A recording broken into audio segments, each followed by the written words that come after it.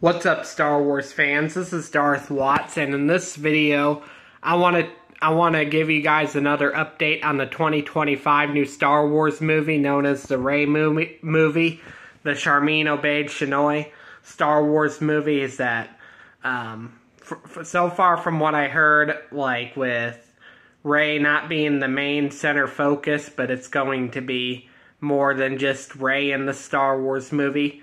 Um, it'll show her growing a new generation of Jedi.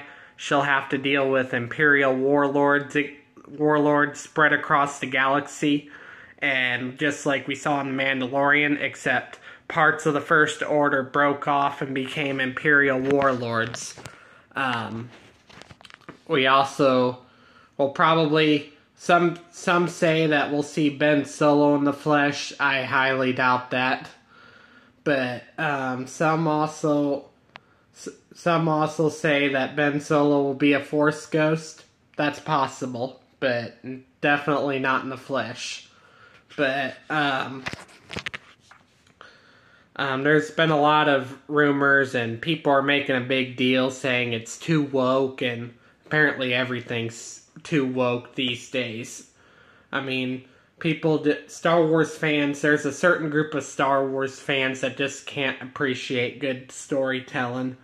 And people like that are not worth my time.